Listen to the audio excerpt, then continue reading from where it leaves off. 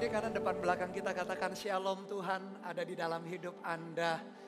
Shalom Tuhan atau damai sejahtera Tuhan ada atas hidup Anda. Silahkan duduk kembali Bapak Ibu Saudara. Senang di siang hari ini kita bisa berkumpul bersama dalam ibadah hari ini untuk kita memuji menyembah Tuhan. Dan tentu saja untuk mendengarkan firman Tuhan ini bagian terbaik kata Yesus kepada Maria waktu itu. Uh, ketika Marta sibuk melakukan segala sesuatu ini dan itu Yesus berkata Maria mengambil bagian yang terbaik ketika duduk dalam hadirat Tuhan mendengarkan terus perkataan Tuhan. Bapak Ibu Saudara dalam perjalanan hidup kita sepanjang tahun 2024 yang menjadi visi Gereja Mawar Sharon adalah tahun pergeseran besar dan mujizat setiap bulan ada tuntunan ilahinya. Demikian juga dengan bulan ini tuntunannya demikian lebih diberkati melayani dengan sukacita tentu saja bukan terpaksa daripada dilayani. Lebih baik atau lebih diberkati melayani dengan sukacita daripada dilayani. Dunia punya standar orang yang dilayani, orang yang dihormati adalah orang yang punya kedudukan, orang yang punya pencapaian, prestasi tertentu. Tapi Yesus berkata bukan. Kalau ingin menjadi terhebat, terkemuka, kita harus menjadi hamba. Bahkan sebuah tempat yang gak mau, gak semua orang mau berada di situ. Tapi nanti kita akan melihat bagaimana lebih betul, lebih baik diberkati atau lebih diberkati melayani daripada dilayani. Oleh karena itu saya beri judul khotbah saya di dalam ibadah umum yang kedua ini adalah penting dan mendesak. Ada hal yang urgent and important, ada hal yang penting dan ada hal yang mendesak di dalam perjalanan kehidupan kita kalau kita melihat apa yang nanti Alkitab akan ajarkan dalam perjalanan iman kita. Satu saat seorang teman saya, seorang CEO yang sangat sukses, sangat berhasil, dia baru saja mendapat promosi di pekerjaannya, lalu baru saja dia membeli mobil Maserati warna merah, lalu kemudian di sepanjang jalan raya itu dia sedang senyum, sedang senang sekali membawa mobil barunya dan merasa dia betapa bangganya karena dia berhasil sukses dalam pekerjaannya. Tak heran mobil barunya itu menjadi sebuah simbol pencapaian di dalam perjalanan karirnya. Tiba-tiba di jalan yang sepi itu ada ada bunyi begitu keras membentur mobilnya, buak. Gitu. Dia kaget, spontan dia ngerem pelan-pelan lalu ke tepi jalan, kemudian dia turun dan dia lihat di pintu mobil sebelah kanannya mobilnya rusak dan tak jauh dari mobilnya itu ada bongkahan batu besar. Kemudian dia turun, dia marah sekali. Dia coba pandang sekeliling dan di ujung di, di seberang jalan di belakang dia lihat ada seorang anak kecil sambil gemetar dengan rasa emosinya, dengan pikiran yang kacau karena mobil barunya. Dia mengunjungi atau mendekati anak kecil di pinggir jalan itu sambil anak itu nangis dan gemetar. Dalam hati teman saya ini berkata, tahu rasa ini orang tuanya harus mengganti perbaikan mobil baru saya. Lalu dia mendekati anak kecil itu mau membentak anak itu. Tapi tiba-tiba anak itu sambil menangis. Dia berkata, Pak maaf. Lalu dia tunjuk tak jauh dari situ. Ada seorang ternyata kakaknya baru saja jatuh dari kursi roda. Dan dilihat memang kakinya adalah kaki yang cacat. Jadi ternyata anak kecil yang lempar batu ke mobil teman saya itu karena dia berusaha mencari pertolongan karena kakaknya terjatuh dari kursi roda dan dia adiknya dia tidak mampu mengangkat kakaknya yang berbadan lebih besar meskipun kakinya kaki yang cacat kakaknya itu. Dia berkata, "Pak, maaf." Sambil menangis, "Saya perlu bantuan karena kakak saya jatuh dari kursi roda dan ada luka-luka di sekujur tubuhnya." Sambil nangis terbata-bata dia berkata, "Saya nggak tahu lagi harus minta tolong kepada siapa." Sehingga dia lempar batu yang cukup besar sehingga merusak daripada mobil baru daripada teman itu. Lalu teman saya itu cerita, ketika dia menceritakan pengalamannya, dia berkata, sejak hari itu dia sengaja nggak mau memperbaiki mobilnya dalam waktu yang cukup lama, karena mobil itu akan menjadi selalu pengingat dia. Ketika dia naik mobil itu, dia menikmati karir, dia menikmati pencapaian, dia akan selalu ingat bahwa di sepanjang jalan kehidupannya selalu ada orang yang sebetulnya butuh pertolongan. Dan gak perlu orang itu lempar batu dulu kepada kita, kepada dia. Tapi selalu ada orang di kiri kanan yang membutuh pertolongan. Untuk sekian lama waktunya mobil baru itu tetap dia biarkan cacat. Untuk mengingatkan dia setiap kali dia bekerja. Untuk mengingatkan dia setiap kali dia menikmati prestasi karirnya ada orang-orang di sekelilingnya dalam kondisi urgent and important, dalam kondisi mendesak dan penting. butuh pertolongannya. Bapak Ibu Saudara dalam perjalanan hidup kita tak perlu orang melempar batu betulan atau mungkin batu kiasan. Tapi tahukah dalam perjalanan hidup kita itu selalu ada orang-orang yang membutuhkan Tuhan lewat hidup kita. Dan Tuhan pilih kita sebagai partner, Tuhan pilih sebagai mitra kerjanya. Untuk dia menyerahkan, mempercayakan sumber daya demi sumber daya dalam hidup kita. Bukan untuk kita nikmati sendiri dengan keluarga. Tetapi kita tahu bahwa Tuhan ingin kita mengelurkan tangan buat orang-orang di sekeliling kita. Dan kita akan lihat dari Alkitab kita apa yang dilakukan seseorang sebelum akhirnya dia lolos ujian Tuhan dan Tuhan percayakan dia menjadi seorang raja atas umat pilihan Tuhan. Siapa lagi kalau bukan namanya Daud. Mari kita lihat di dalam 1 Samuel 30 Bapak Ibu Saudara. Ayat yang pertama sampai ayat yang ke-19 kita akan perhatikan bagaimana kondisi Daud di dalam kondisi bahkan yang tidak mudah.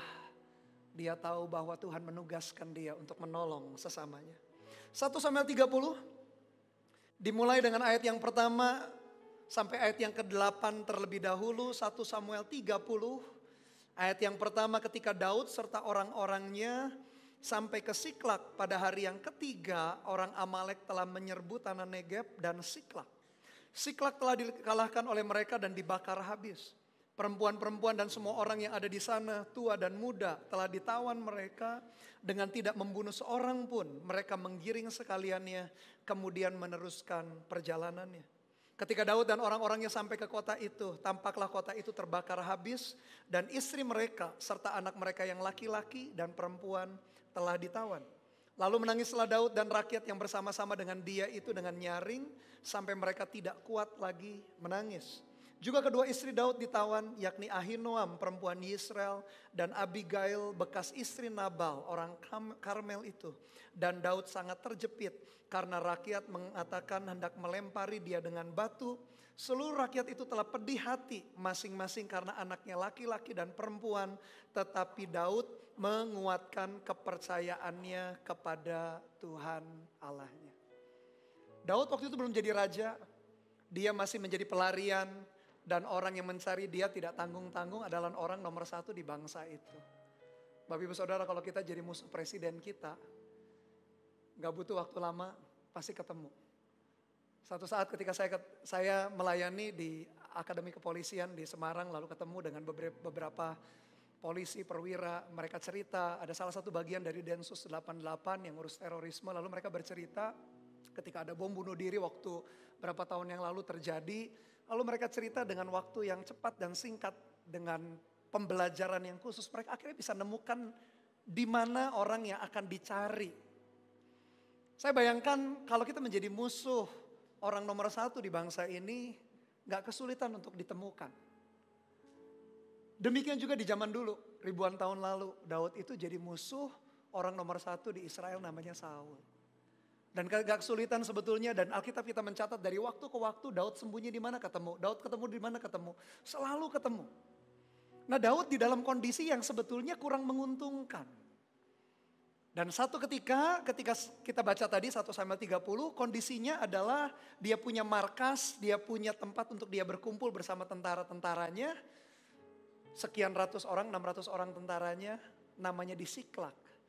Dan Siklak itu ketika Daud tidak ada, ketika tentara-tentaranya tidak ada, Siklak itu dibakar habis, lalu istri, anak dan harta mereka diambil oleh bangsa Amalek.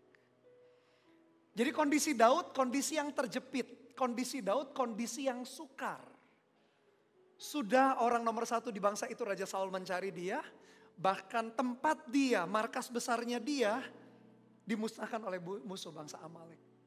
Jadi kondisi Daud itu betul-betul kondisi yang mendesak, yang tidak menguntungkan sama sekali. Belum lagi dikatakan ayat yang ke-6, Daud sangat terjepit karena rakyat mengatakan hendak melempari dia dengan batu. Kalau kita pelajari rakyat Daud itu ada 600 pasukan, 600 itu terbagi dua, 400 itu ditemukan dia di Gua Adulam. Dulu mereka nggak punya tujuan, mereka itu dikejar-kejar di dalam masa kesukaran, sakit hati, dikejar-kejar tukang piutang. 400 orang itu di tangan Daud jadi pahlawan. Bayangkan Daud sudah berjasa atas 400 orang lagi, 400 orang, lalu ketambahan 200 orang, dia punya 600. Nah 600 orang itu Karena istri dan harta mereka juga dirampas. Mereka marah sama Daud. Semua sudah siap-siap, Bapak Ibu Saudara sudah jongkok semua untuk melempari Daud dengan batu.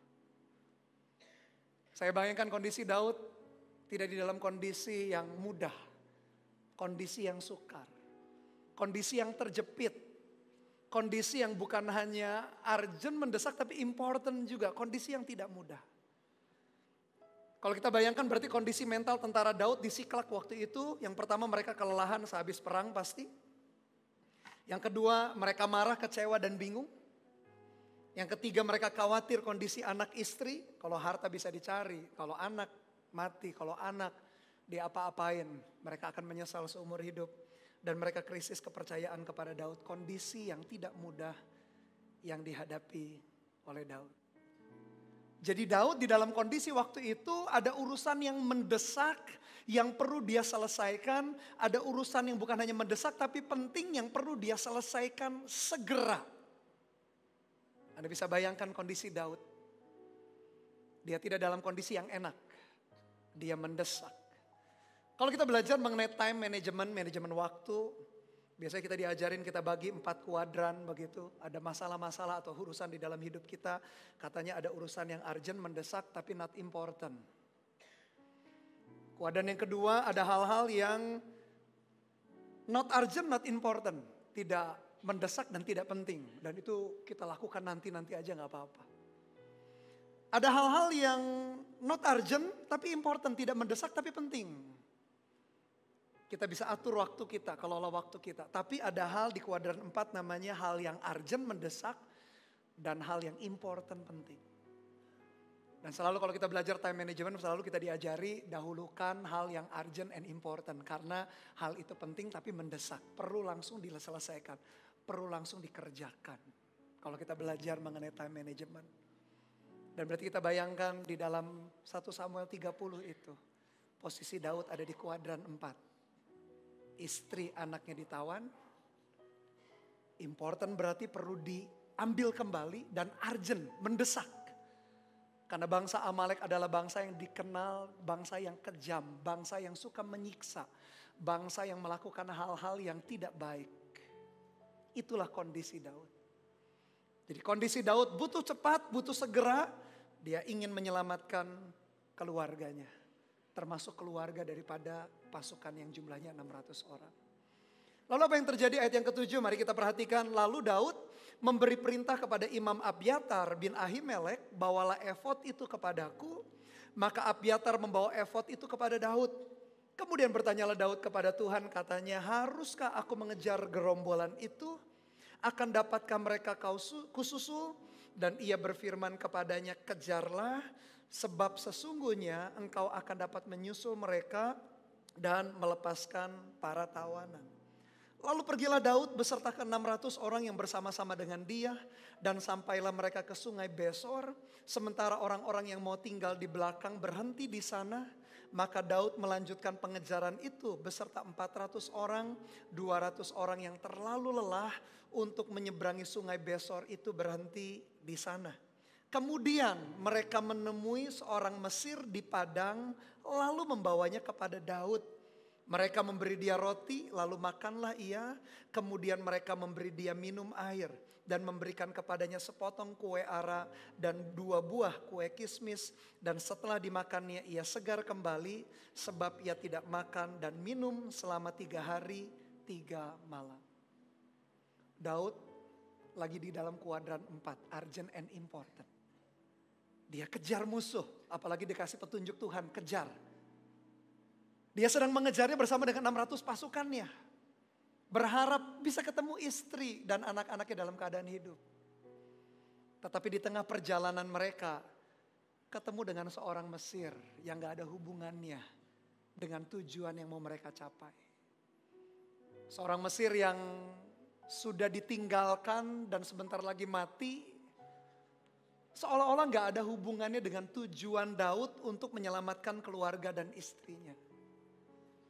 Pandangan dan tujuannya hanya ingin mengejar cepat bertemu dengan istri dan anak-anaknya dan merampas kembali dari tangan musuh. Tapi bisa-bisanya di pinggir jalan itu dia ketemu dengan seorang Mesir yang mau mati. Orang Mesir pula bukan orang Ibrani, bukan orang Yahudi. Bisa-bisanya Daud berhenti dengan pasukannya, menolong orang Mesir itu, memberikan makan, merawat orang Mesir itu, sehingga orang Mesir itu nggak jadi mati, malah kembali segar dan bugar. Padahal mereka sedang di dalam kuadran waktu urgent and important. Bapak Ibu Saudara kalau kita renungkan dalam hidup kita, kalau kita sedang mengejar tujuan, kita punya mimpi, punya goal. Nggak ada yang salah dengan tujuan mimpi. Karena manusia harus punya tujuan, harus punya goal yang kita mau capai. Karena kalau kita nggak punya tujuan, orang berkata kalau kita gagal berencana katanya, kita berencana untuk gagal. Kalau menurut saya betul juga. Karena setiap manusia kalau nggak punya rancangan, kalau nggak punya tujuan hidup kita itu jadi sembarangan. Waktu kita pakai sembarangan, sumber daya yang Tuhan berikan kita pakai sembarangan. Tapi kalau kita punya goal tujuan, kita itu akan fokus untuk mengejar tujuan itu. Tapi kalau kita bertanya kembali dalam hidup kita, sebetulnya apa yang kita kejar? Apa yang seolah-olah mendesak kita sedang berjalan mengejar tujuan itu, sehingga sering kali kita mengabaikan orang-orang yang ada di sekeliling kita yang membutuhkan pertolongan kita.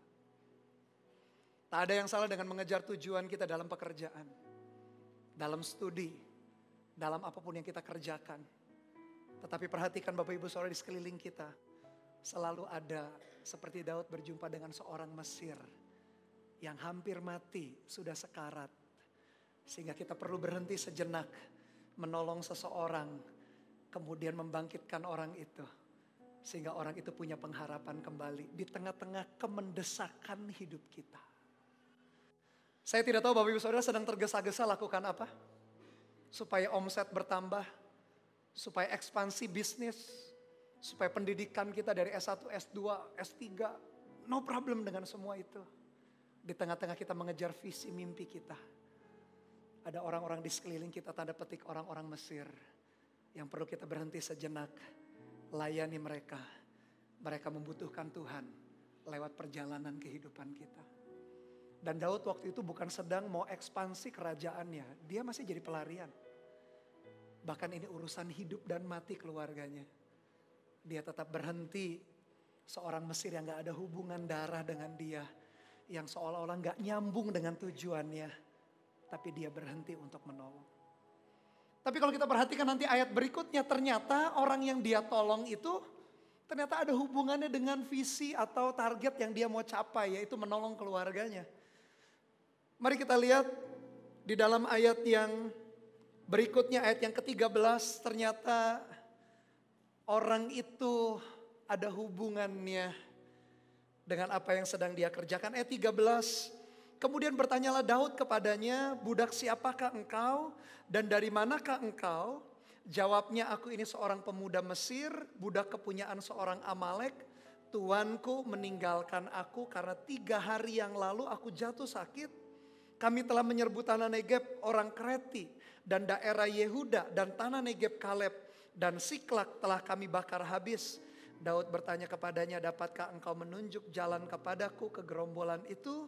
Katanya, bersumpahlah kepadaku demi Allah bahwa engkau tidak akan membunuh aku dan tidak akan menyerahkan aku ke dalam tangan tuanku itu, maka aku akan menunjuk jalan kepadamu ke gerombolan itu. Tadi sangka, tadi duga, orang yang ditolongnya menolong dia untuk menyelamatkan istri dan anak-anaknya segera. Kadang kita nggak pernah tahu Bapak Ibu Saudara orang yang kita tolong. Mungkin tidak langsung berdampak membantu kita. Tapi mungkin anak cucu kita dibantu oleh orang itu. Selalu dalam perjalanan kehidupan kita ketika kita peka melihat kebutuhan orang Ketika kita tahu bahwa Tuhan mempercayakan sumber daya dalam hidup kita, lalu kita pakai sumber daya itu bukan hanya untuk kepentingan kita, tapi untuk menolong orang-orang di sekeliling kita. Heran sekali. Apa yang kita tabur di dalam kebaikan, selalu kita menuai di dalam kebaikan. Yang setuju dan mau mengalami katakan amin, amin. Oleh karena itu saya tulis demikian, ingatlah saat kita mengejar mimpi kita, atau mungkin kita terdesak keadaan kita. Pekerjaan kita mungkin bermasalah, kesehatan kita mungkin bermasalah, Tergesa-gesa tidak selalu membawa kemenangan. Lambat melangkah tidak selalu membuat kalah. Namun yang peka sesuaikan kecepatan akan tetap sampai kepada tujuan tanpa kehilangan banyak hal yang berharga. Kadang kita berpikir, Pastor Bernard, kita kerahkan tenaga kita saja, peras keringat, banting tulang saja mungkin tetap nggak nyampe sama tujuan bisnis kita. Apalagi kalau kita memperlambat dengan melayani orang. Nah di sinilah kita tahu kita butuh anugerah Tuhan. Bukan berarti kita bermalas-malasan. Bukan berarti kita nggak punya target di dalam hidup kita. Ingat segala sesuatu yang sedang kita lakukan mengejar mimpi atau hidup kita sedang terdesak terjepit dalam pekerjaan, dalam kesehatan. Tetap dalam perjalanannya kiri kanan kita ada orang-orang yang perlu kita layani, perlu kita rangkul. Dan mungkin saja Tuhan kasih pertolongan balik kepada kita di tengah-tengah orang yang kita tolong. Mungkin bukan lewat orang itu. Kita tidak tahu segala sesuatu misteri di hadapan Tuhan. Tapi saya meyakini Tuhan pasti tidak akan pernah meninggalkan kita berjalan sendirian. Oleh karena itu Paulus menasehati demikian di dalam Roma 15 kita lihat. Kita keluar sebentar dari kisah Daud di Siklak tadi. Nanti kita akan kembali ke situ. Roma 15 ayat 1 sampai ayat 3. Mari kita baca bersama-sama. Ini prinsip di dalam kehidupan kita. Roma 15 ayat 1 sampai 3. Siap kita baca sama-sama. 1, 2, 3. Kita yang kuat wajib menanggung kelemahan orang yang tidak kuat. Dan jangan kita mencari kesenangan kita sendiri setiap orang di antara kita harus mencari kesenangan sesama kita demi kebaikannya untuk membangunnya. Karena Kristus juga tidak mencari kesenangannya sendiri, tetapi seperti ada tertulis, kata-kata cercaan mereka yang mencesar engkau telah mengenai aku. Ayat yang pertama Paulus katakan, kita yang kuat. Wajib menanggung kelemahan orang yang tidak kuat. Dan jangan kita mencari kesenangan diri kita sendiri. Dalam hidup kita entah kita sedang mendesak mengejar apa. Apa yang kita mau kejar. Tidak ada yang salah punya tujuan. Tapi di sekeliling kita, kiri kanan kita, ada tanda petik orang-orang Mesir yang butuh pertolongan kita, butuh bantuan kita, supaya mereka dikuatkan kembali, mereka dibangun kembali di dalam anugerah Tuhan. Pandemi COVID-19 yang lalu, Bapak Ibu Saudara ada seorang jemaat. Orang tuanya meninggal dunia karena COVID. Di minggu yang pertama papanya, minggu yang kedua mamanya. Jadi langsung dalam satu minggu jemaat itu menjadi yatim piatu. Memang bukan lagi anak kecil. Mereka juga sudah besar, punya pekerjaan, sudah punya keluarga. Tapi di tengah-tengah COVID-19, di tengah-tengah kepedihan, duka yang mendalam, baru saja orang tua mereka meninggal dunia karena COVID, apalagi varian Delta. Kita tahu, kita ingat ya di varian Delta di bulan-bulan itu, saya ingat mobil ambulans itu sirinenya lalu lalang di jalan itu sering sekali. Dan jemaat itu baru kehilangan orang tuanya di dalam minggu yang sama. Di tengah-tengah rasa sedih, rasa duka yang mendalam, mereka ingat, mereka suami istri, mereka ingat teman-teman mereka masih ada yang belum kenal Tuhan. Apa yang mereka lakukan? Mereka cerita, mereka telepon teman-teman mereka. Mereka bahkan ada kesempatan, mereka pakai masker, mereka kunjungi teman-teman mereka yang belum kenal Tuhan. Sahabat-sahabat mereka, mereka kunjungi satu persatu. Dan mereka cerita, kapan lagi waktu yang terbaik Bapak Ibu Saudara untuk memberitakan Injil. Ketika COVID-19 semuanya lagi mencekam, lagi dicekam ketakutan. Dan jemaat kami ini cerita bagaimana satu persatu jemaatnya dikuatkan, jema, uh, temannya dikuatkan, temannya akhirnya kembali ke Tuhan. Temannya percaya Tuhan Yesus. Meskipun mereka sedang mengalami kondisi duka yang begitu mendalam. Mereka tahu mereka perlu ngatasi ini itu dengan keberanian. Tapi mereka nggak mau mereka mati langkah, mereka nggak mau mereka mati kutu. Mereka tahu mereka masih bisa berbuat sesuatu.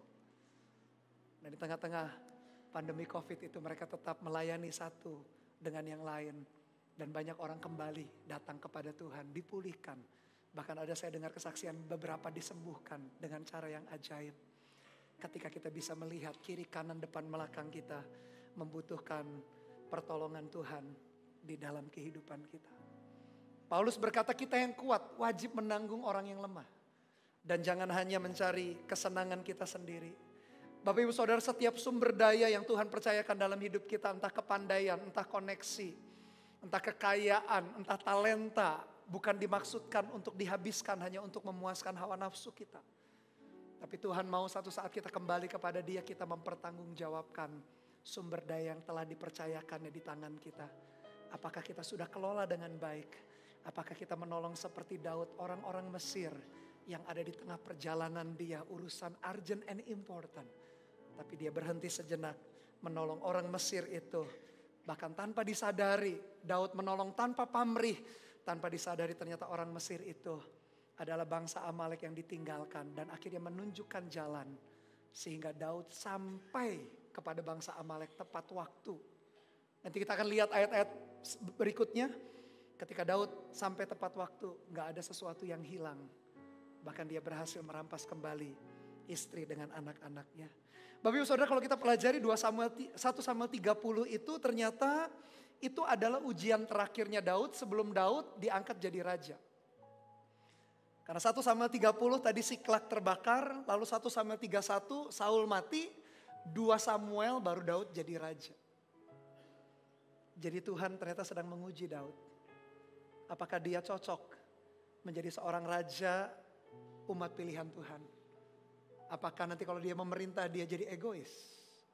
Ternyata ujian Daud itu ya ujian yang terakhir, ujian yang pertama kita lihat 2 Samuel 22 ayat yang pertama.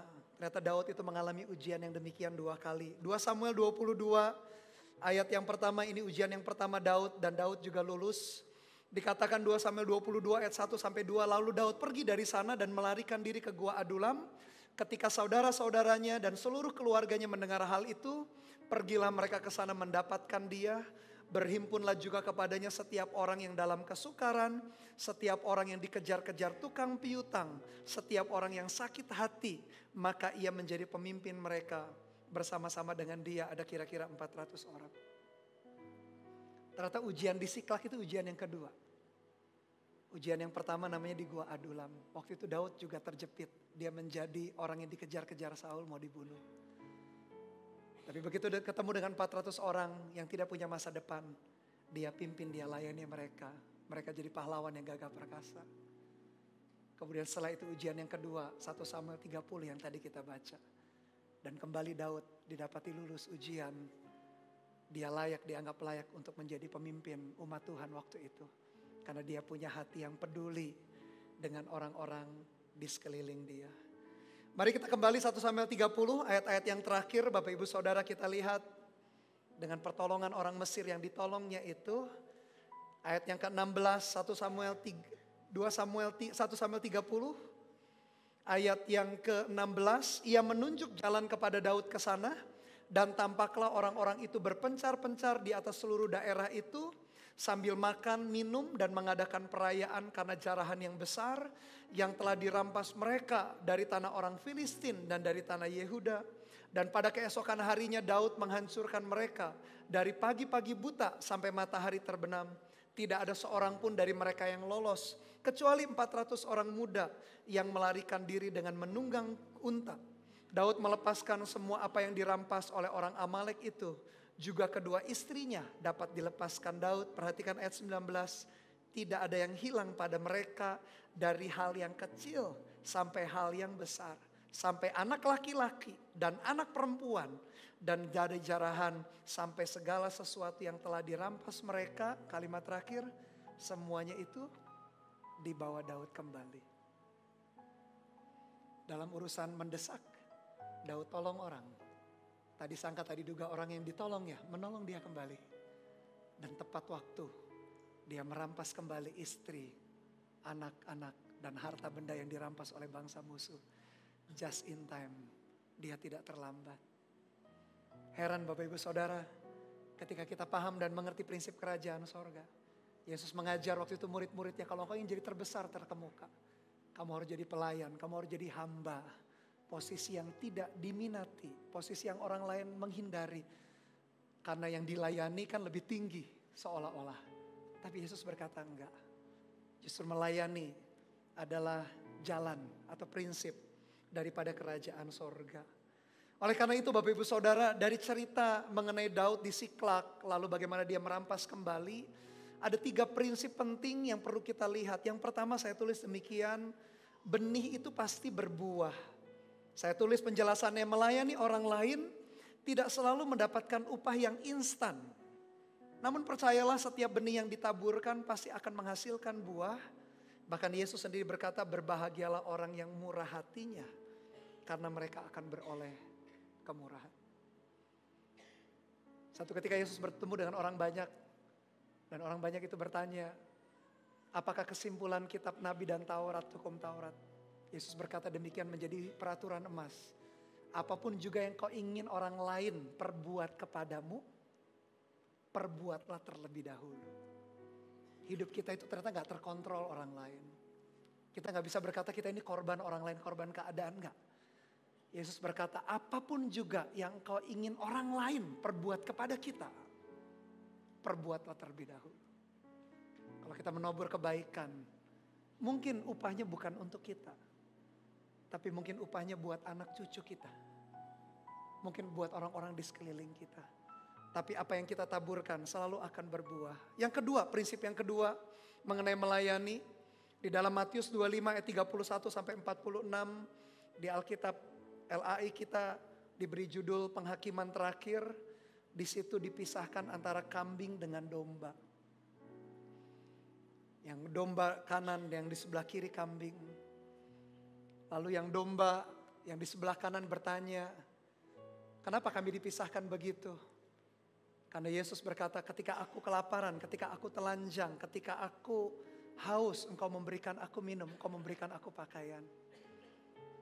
Lalu yang orang Kristen sungguh-sungguh bertanya, kapan kita lihat Yesus begitu tuh kapan? Kami gak pernah lihat Yesus kelaparan, di penjara kami kunjungi. Lalu di dalam ayat yang ke-40, Yesus berkata, aku berkata kepadamu sesungguhnya segala sesuatu yang kamu lakukan untuk salah seorang dari saudaraku yang paling hina ini, kamu telah melakukannya untuk aku. Jadi apa yang kita lakukan untuk orang bahkan yang gak bisa balas kita dengan kebaikan mereka. Yesus Tuhan berkata, engkau lakukan buat aku. Yang sebelah kiri yang kambing juga protes. Loh kapan kami lihat Tuhan Yesus kelaparan? Kalau kami lihat Yesus kelaparan kami pasti kasih makan. Kalau kami lihat Yesus haus pasti kami kasih minum. Kalau kita lihat Yesus dalam penjara kami pasti kunjungi. Yesus berkata apa pun juga yang kau tidak lakukan untuk orang yang hina. Engkau tidak lakukan untuk aku. Ternyata ketika kita kerjakan, kita melayani, ternyata kita sedang berurusan sesuatu dengan Tuhan dan Tuhan memperhitungkan itu. Dan prinsip yang terakhir mengenai melayani, Amsal 19 ayat 17 ini ayat yang heran, menurut saya ayat yang cukup aneh. Dikatakan Amsal 19 ayat 17, siapa yang menaruh belas kasihan kepada orang yang lemah, memiutangi Tuhan yang akan membalas perbuatannya itu. Saya pelajari di dalam bahasa asli kata memiutangi itu yaitu hutang plus bunganya. Dibayar lunas sama Tuhan. Kita nggak layak berkata kalau aku nolong orang Tuhan itu berutang sama kita. Hidup kita aja miliknya Tuhan. Setiap nafas yang kita hirup aja miliknya Tuhan. Bukan dari pihak kita sih yang nuntut, tapi Tuhan sendiri berkata, kalau engkau tolong orang lain, aku yang berhutang. Meskipun hidup kita saja hari ini kita bisa nafas, kita masih aktivitas, kita punya kesehatan, itu pun berkat dan anugerah Tuhan. Yang setuju katakan amin, amin Bapak Ibu Saudara. Kita bisa bernafas saja anugerah Tuhan. Ketika kita menolong orang yang lemah, Alkitab kita berkata, kita memiutangi Tuhan yang akan membalas. Kata memiutangi itu utang plus bunganya. Tuhan tahu cara memberi upah, Tuhan tahu cara menuntun kita. Tuhan tahu cara take care, pelihara kita, bahkan anak cucu kita. Tuhan tahu caranya. Ketika kita bisa menggunakan semua sumber daya, kepandaian kita, talenta kita, kekuatan kita. Untuk kita berhenti sejenak seperti Daud menolong orang Mesir itu. Yang gak ada hubungannya seolah-olah dengan pengejaran dia, mengejar bangsa Amalek. Tapi justru kunci jawabannya terletak Tuhan taruh di orang Mesir itu. Kita gak akan pernah tahu orang yang kita tolong satu saat menolong kita. Kata orang hidup manusia kadang di atas kadang di bawah bukan berarti saya sebagai pendeta mengutuki jemaat kita ada di bawah sisi bawah. Tapi kita menyadari hidup manusia begitu kan. Hari ini kita bisa kuat, bisa hebat, bisa sehat. Besok mungkin kita bisa terkapar sakit. Siapa yang tahu? Sehingga kalau kita hari ini ada di atas, kita perlu hidup dengan rendah hati. Dan punya pikiran mindset bahwa semua sumber daya Tuhan percayakan. Bukan untuk aku habiskan Tapi bagaimana aku kelola entah kepandaian, entah koneksi, entah wawasan, entah apa pun di tangan kita yang Tuhan percayakan. Untuk kita bisa menolong kiri kanan kita. Ada orang-orang Mesir yang butuh pertolongan Tuhan lewat hidup kita. Sepanjang kisah Daud di Siklak dan pengejaran dia kepada bangsa Amalek. Ada tiga aplikasi yang saya dorong kita kerjakan bersama-sama. Yang pertama aplikasinya adalah sering kali kita perlu hentikan langkah sejenak untuk melayani sesama. Meskipun kita di dalam kuadran hidup urgent and important. Yang kedua, kalau kita nolong, kalau kita melayani, lakukan dengan tulus tanpa pamrih. Kita nggak perlu tahu apakah dari orang itu kita dapat pertolongan kembali. Tuhanlah tahu yang memberikan upah. Yang ketiga, ini hubungannya berarti percaya kepada Tuhan yang memberi upah. Penulis Ibrani berkata kalau kita mencari Tuhan, percayalah Tuhan ditemui dan memberi upah kepada orang yang sungguh-sungguh mencari dia, mengerjakan setiap kebenaran firman Tuhan. Bahkan kita nggak perlu nagi-nagi Tuhan, nggak perlu ngingetin Tuhan. Tuhan tahu cara memperlakukan kita ketika kita peduli dengan sesama kita di dalam melayani. Dan tak kebetulan Bapak Ibu Saudara, Sabtu dan Minggu, hari kemarin dan hari ini, gereja kita ada yang namanya Servolution Expo. Servolution Expo adalah kesempatan bagi seluruh jemaat GMS untuk melayani bersama-sama dengan kami. Untuk running contohnya ibadah yang seperti ini saja dibutuhkan belasan bahkan puluhan orang dengan berbagai macam talenta mereka. Bahkan yang melayani para volunteer ini jauh dat, uh, datang ke gereja sudah jauh-jauh jam sebelum Anda datang untuk mempersiapkan diri untuk running ibadah yang seperti ini, untuk running pelayanan di Connect Group. Butuh orang-orang yang terlibat di dalam melayani. Nanti kalau Anda setelah ibadah ini selesai, Anda bisa kunjungi booth Servolution Expo kami. Letaknya ada di pintu keluar foyer atau lobby, nanti ke sebelah kiri Bapak Ibu Saudara. Dengan desain yang seperti ini, dengan foto booth-booth kita di situ. Ada beberapa pelayanan yang bisa Anda ambil, ada usher, ada praise and worship, termasuk sound system di dalamnya, ada multimedia, ada service production, ada creative ministry, ada Eagle Kids pelayanan untuk anak-anak kita, ada pendoa, ada data ministry, ada FLC atau family life counseling, ada general affair, ada communication, salah satunya media sosial, ada Mawar Sharon Peduli juga, kegiatan sosial kita. Uh, kalau Anda pengen tahu pelayanan itu apa saja, Anda bisa kunjungi booth kita di depan, tanya kepada rekan-rekan kami yang jaga booth di situ, lalu daftarkan diri Anda, kita terlibat bersama-sama. Ingat Tuhan sudah taruh segala sumber daya dalam hidup kita untuk kita kelola, untuk kita melayani orang-orang di sekitar kita. Dan kita meyakini bahwa apa yang kita lakukan, jeripayah kita di dalam Tuhan tidak pernah sia-sia. Amin Bapak Ibu Saudara, kembali kepada cerita teman saya itu. Ketika dia melihat anak kecil itu menangis setelah melempar batu ke mobil Maserati merah barunya. Dia menyadari bahwa dalam perjalanan hidupnya dia sering kali tergesa-gesa, terburu-buru untuk bekerja, mengejar pencapaiannya, lebih hebat lagi, lebih kaya lagi. Padahal di sepanjang jalan, di samping kiri kanannya, selalu ada orang-orang yang membutuhkan pertolongan dia. Dan tak perlu orang itu melempar batu dulu, supaya dia menyadari orang itu butuh pertolongan. Akhirnya sejak hari itu dia berkomitmen untuk selalu tetap dia bekerja dengan rajin, dia tetap melakukan pekerjaannya dengan excellent. Tapi dia ngerem, dia memberikan warning di dalam hidupnya. Dia selalu di dalam waktu berkala, dia berhenti sejenak nolong orang. Dia ambil pelayanannya juga di gerejanya.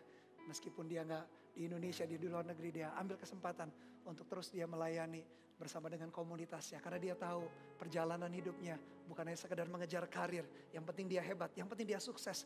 Dia menyadari banyak orang-orang yang membutuhkan pertolongan dia tanpa perlu harus melemparkan batu mengenai mobilnya kembali. Bapak ibu saudara banyak orang yang membutuhkan kita. Kita terlibat di dalamnya. Hidup kita singkat dan sementara. Biarkan hidup kita membawa dampak bagi orang-orang di sekeliling kita. Amin. Yang setuju kasih tepuk tangan sekali lagi buat Tuhan kita. Haleluya.